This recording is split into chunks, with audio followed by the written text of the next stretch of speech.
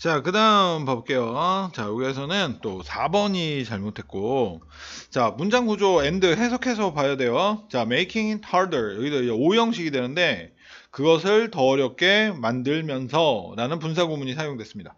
자, 그래서 여기는 감옥, 진목인데, fall asleep at night. 밤에 잠자고, 더 아침에 일어나는 것. 얘랑 당연히 연결되겠죠. 음.